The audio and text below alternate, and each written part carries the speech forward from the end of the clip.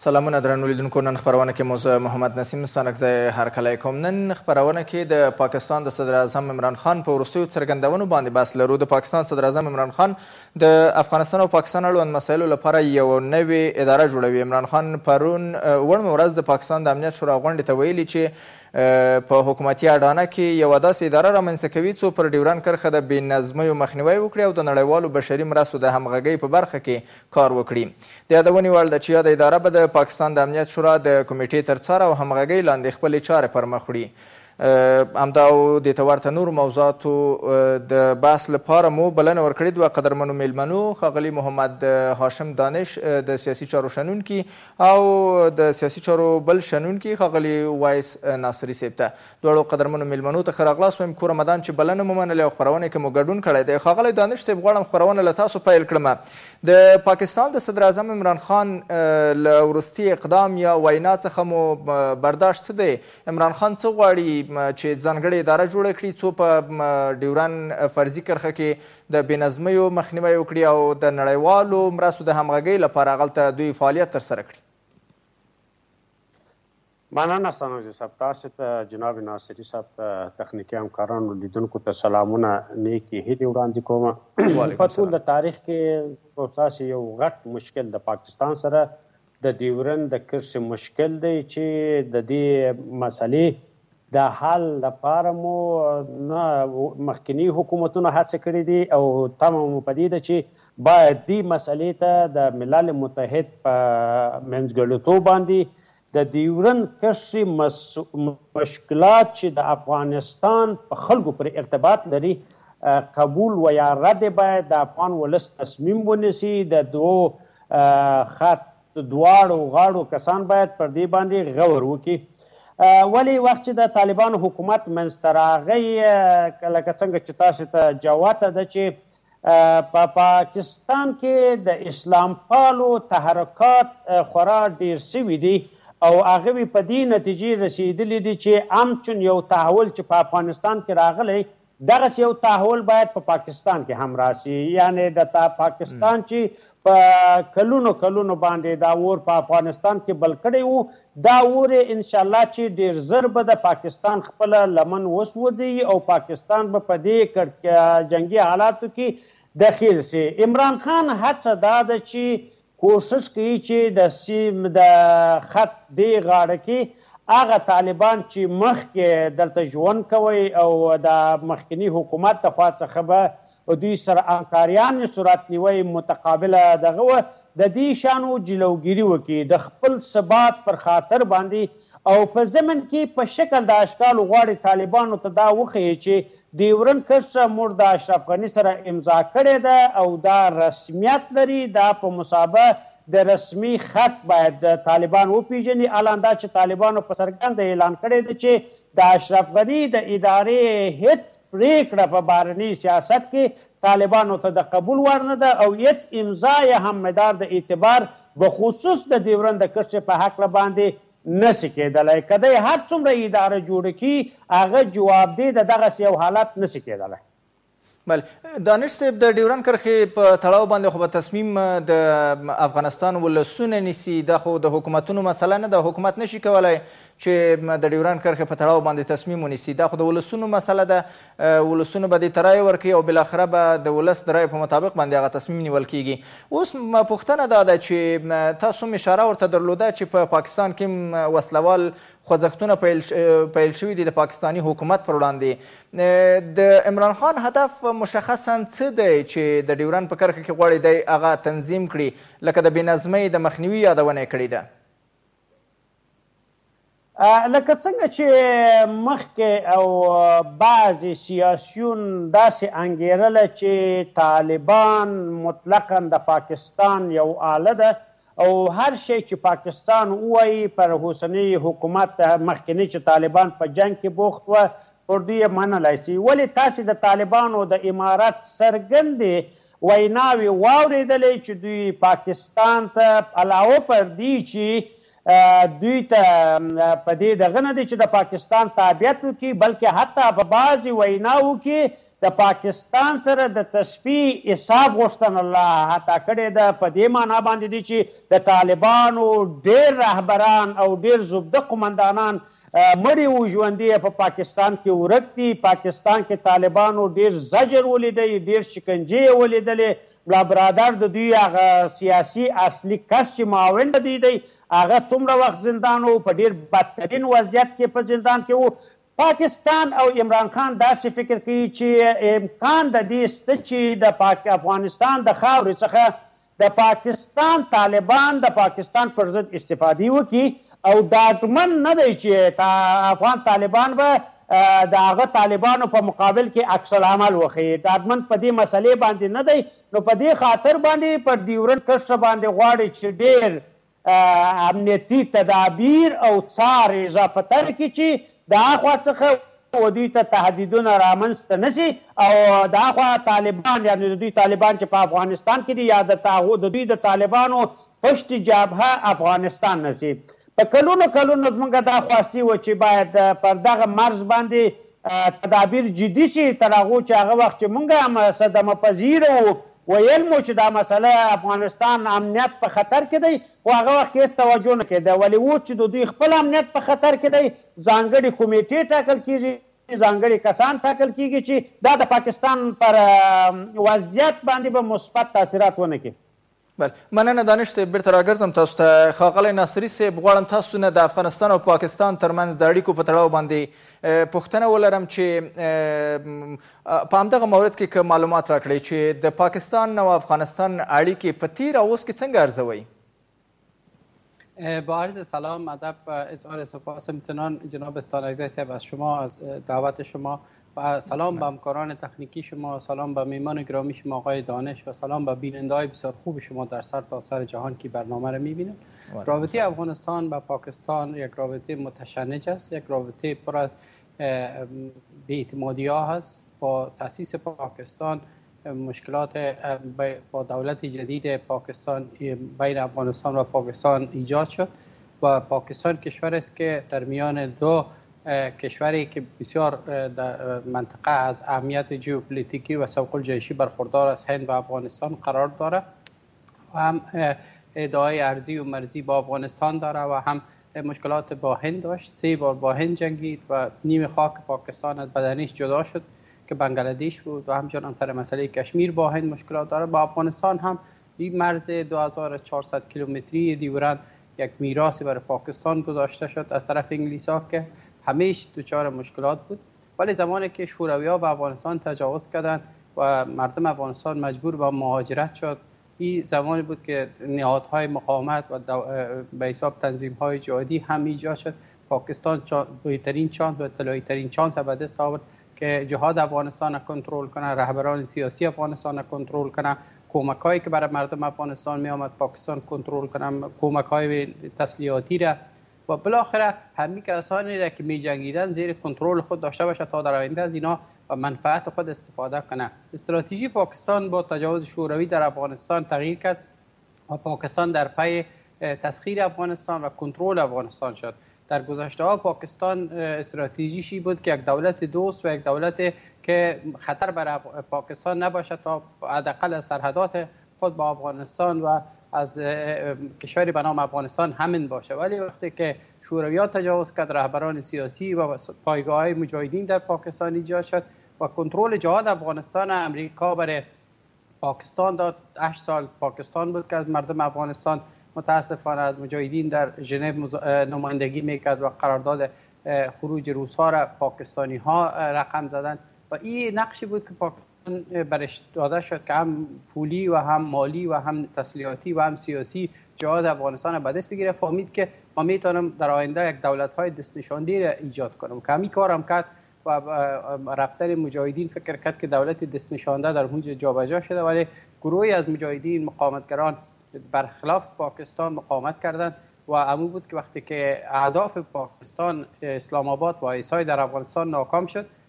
ابی بود که یک گروه جدیدی را ایجاد کردند که او طالب ها بود که از این طریق می توانستند افغانستان را کنترول کنند در بار اولی که طالب ها سلطنت بالعور طالب ها به همکاری پاکستانی ها صورت گرفت و امروز هم پاکستان با ایجاد این نهادها و این ادارات فقط در پای کنترل افغانستان است در پای کنترل اداره افغانستان است متاسفانه دولت طالب ها حکومت جدیدشان بسیار ضعیف است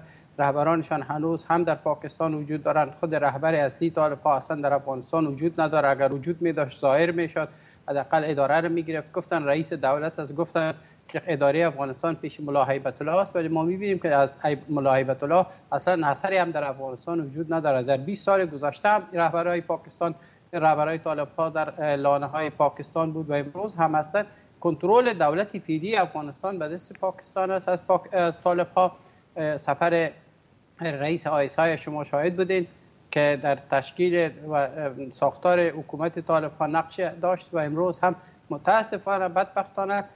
پاکستان بسیار گستاخانه بیشرمانه لابیگری میکنه ای تمام در مجامع بیمدلی از طالب ها امران خان نمایندگی میکنه دولت پاکستان تمام کشورها میدارن حتی در سنای امریکا 22 سناتور قدرتمند حزب جمهوری خواهان تحریم پاکستان شدن سفر معاون وزیر خارجه امریکا به پاکستان به خاطر هشدار دادن به پاکستان است که تو از حد بیشتر میری تمام کشورها متوجه شدن حتی حتی وزیر خارجه عربستان سعودی در دیلی گفت که برگشت طالب ها القاعده و داعش در افغانستان خطر است و حکومت طالب ها را مترادف با داعش و القاعده دانست و گفت که یک, یک, یک فاجعه است به خاطر مداخله پاکستان رابطه عربستان سعودی و پاکستان خراب شده رابطه هند و پاکستان بسیار وخیم است حتی رهبر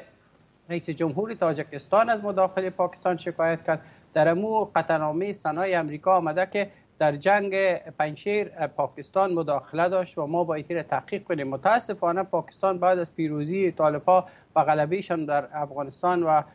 معامله که امریکا با طالب و پاکستان انجام داد و قدرت برای طالب ها دادن پاکستانی ها بسیار گستاخ شدند و فکر میکنند که حکومت دستنشانده در افغانستان دارند و که طالب ها به حساب استقلالیت خود ثابت کنند در مقابل پاکستان فعلا ما چیز اثر از اون میبینم بنا ای ایجاد ای ادارات و کنترل ها رو شما از طرف طالب ها در طول پنج سال اول حکومتشان و در دور دوم سلطنتشان یک کلمه یک حرف از هیچ رهبرش نشنیدیم که راجع به دیورند چیز گفته باشه طالب ها در ارتباط به دیورند هیچ موقف ندارند هیچ هر حکومتی که آمده هر حزب جریان سیاسی که آمده یک تعلیل است دیورند و خط دیورند سرحدات دیورند داشته ولی از طالب شما چی بر تحلیل دارید موقف رسمی طالب چی است در ارتباط با سرحدات دیورند؟ بنان این بحث مسئله دیورند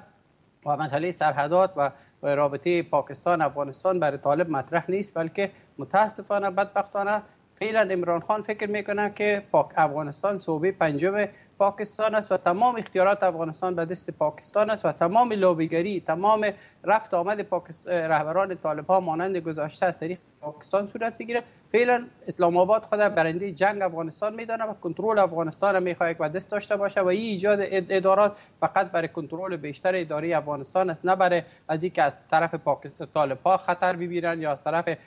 کدام گروه دیگه در خطر باشند بلکه اینا اصلا میخواهند که در آینده به حساب افغانستان هم مطلق زیر کنترل خود داشته باشند تغییر تبدیل هم که در آیس های آمده یا در قول اردوهای خود ایجاد کردن به خاطر عزیز که اینا میدانند که یک پیروزی بزرگ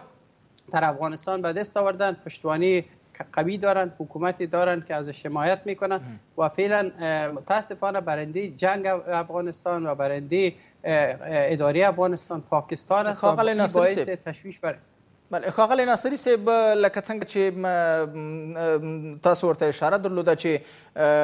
عمران خان د افغانستان افغانستان د پاکستان پنځمه صوبه بولی او په نړیوالو سټیجونو باندې د افغانستان لابیګری کوي او په یو ډول باندې د طالبانو ملاتړ کوي نو که چیرې واقعا پاکستان یا پاکستانی چارواکي د طالبانو ملاتړ کوي او تر شای ولاړ دي نو پاکستان ولې بیا په دغسې شرایطو کې چې د افغانستان د حکومت واک هم مکمل طالبانو سره دی پاکستان له دغسې خطر سره مواجه کیږي خطری که هست مردم افغانستان با پاکستان مشکل داره تمام مردم افغانستان با حاکمیت طالب با حاکمیت پاکستان با مداخله پاکستان با تجاوزاتی که پاکستان کرده با خیانت هایی که پاکستان با جهاد افغانستان کرد با خیانتی که پاکستان با مردم افغانستان کرد با اردوی افغانستان کرد با معامله که به زیر شعار صلح پاکستان بازی میکرد با این مردم افغانستان نفرت داره فرد فرد مردم افغانستان چی در میدیای افغانستان چی سیاسی افغانستان چی چپ افغانستان چی راست افغانستان همه و همه میدانند که پاکستان دشمن تاریخی افغانستان است و این پاکستان است که باعث تخریب جهاد افغانستان شد این پاکستان است که باعث جنگ های داخلی شد این پاکستان است که طالب ایجاد کرد این پاکستان است که تروریسم ایجاد کرده و ده ها گروه تروریستی را در افغانستان تمویل میکنه امروز پایگاه و جایگاه داعش و می داعش خراسان در پاکستان است رهبرانشان پیش از اونا هست به خاطر بازی با منطقه و بازی با همگی داعش حمایت میکنن طالب ها حمایت میکنن میال تمام رهبران طالب ها فامیلایشان در پاکستان است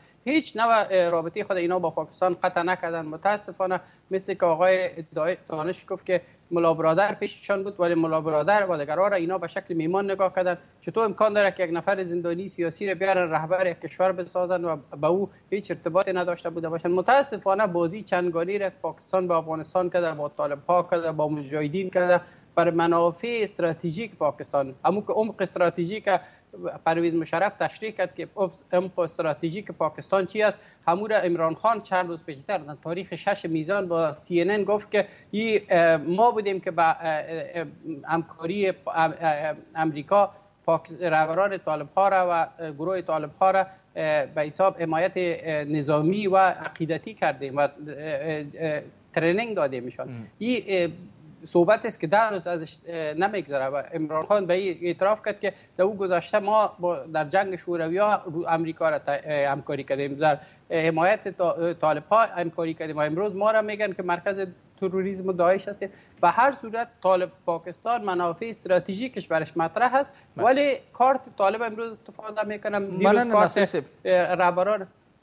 بله کور مدن ناصري صاحب بیرته راګرځم تاسو ته ښاغلی دانش صاحب لکه څنګه چې ناصري صاحب ویل چې د پاکستان لپاره د دغه ادارې په رامنځته کېدو باندې هم د عمران خان په وینا باندې د دغه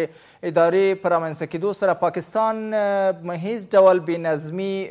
یا د ترهګریزو فعالیتونو د مخنیوي لپاره دغه اداره نه رامنځته کوي بلکې غواړي په راتلونکي کې په افغانستان باندې لا بشپړ کنټرول ولري ستاسو لید څه دی په دې تړاو باندې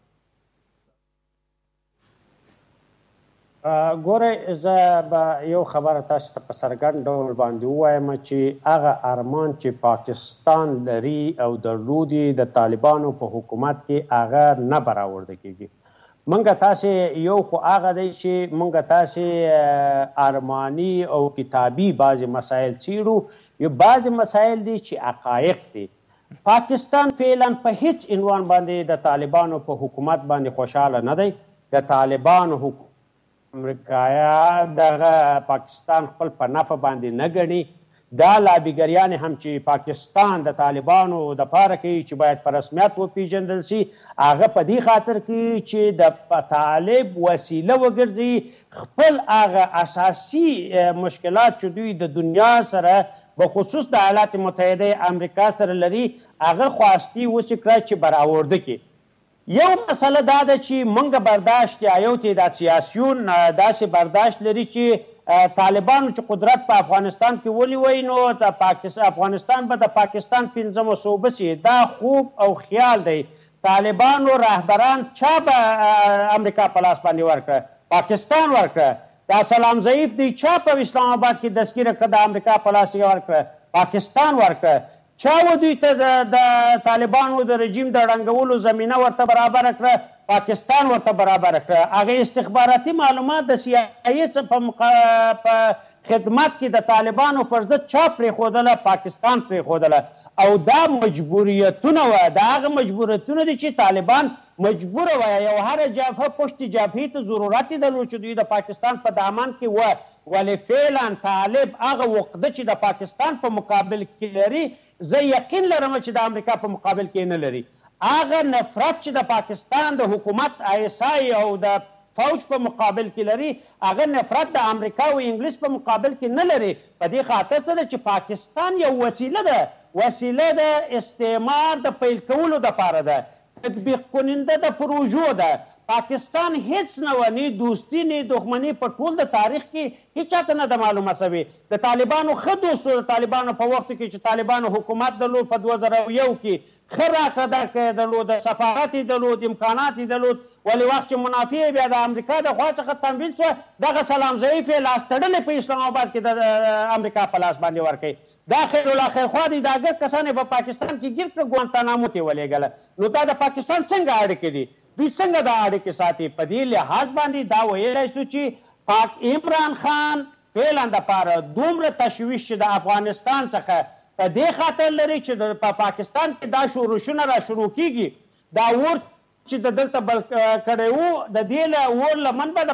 عمران خان له سیجي پاکستان د پنځه څلوېښت زره مدرسې لري پنځه څلوېښت زره مدرسې د شريعت د پلي کولو لپاره په پاکستان کې غواړي مبارزې شروع کړي. پاکستان مخکې وخکې د مخکې نه داسې يو مجلس جوړ کړی وو، په هغه مجلس کې چې سياسي رهبران وه، ټول اقشار يې راغوښتي وه، په هغه مجلس کې په.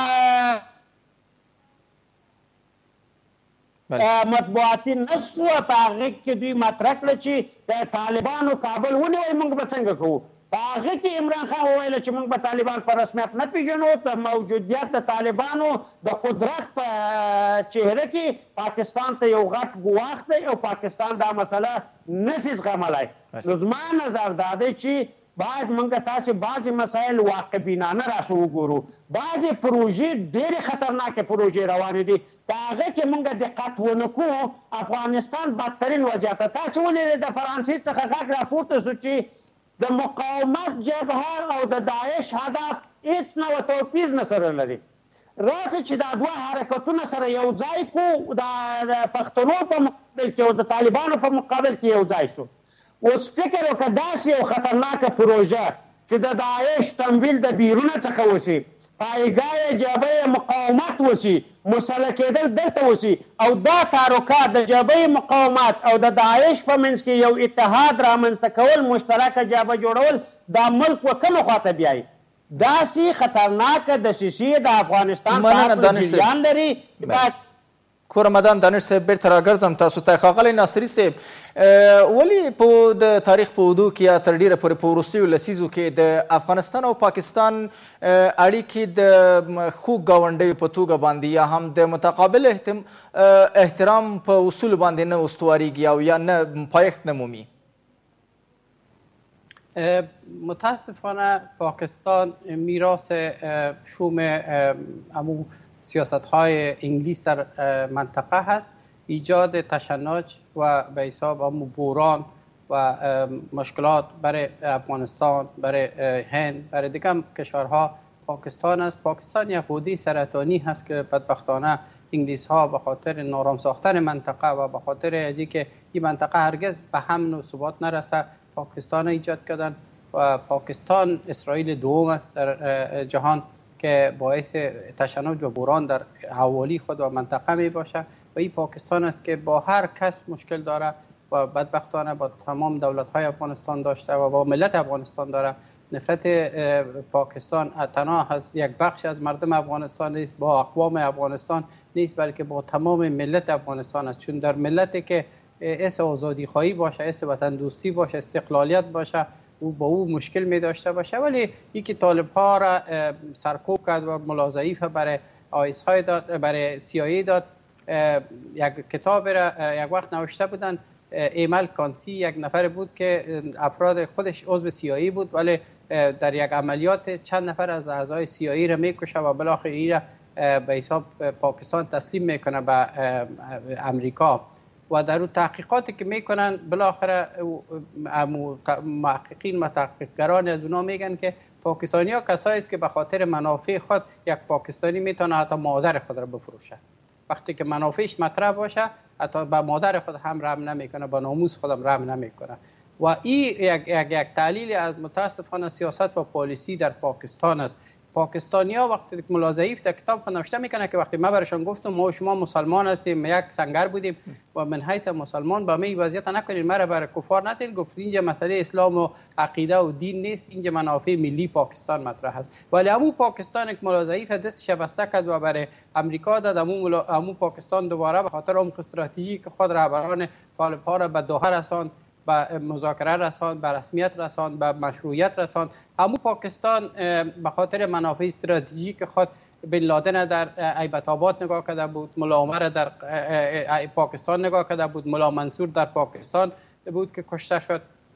و رهبران پاکستان مخفی کرده بود و تا به امروز ملا حیبت الله را نگاه کرده شورای کویته را نگاه کرده شورای پشاور را نگاه کرده شوراها را نگاه کرده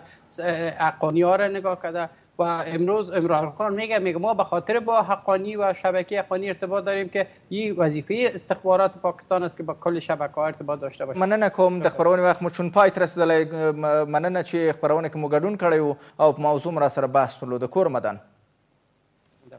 بله ښاغلی دانش صاحب غواړم په وروستۍ پوښتنه یا د بحث جنبندي له تاسو سره وکړم د د حل لارې په توګه مو وړاندیز څه دی ښاغلی دانش صاحب حل لاره دا ده چې موږ او تاسو باید یو واضح سیاست د پاکستان په قبال کې باید ولرو افغانستان ته په کار دا ده چې طالبان د فراست او عقلانیت نه کار واخلي، دغه بنبست چې فعلا د پاکستان او د دنیا په منځ کې دی، دا بنبست په هر شکل ممکنه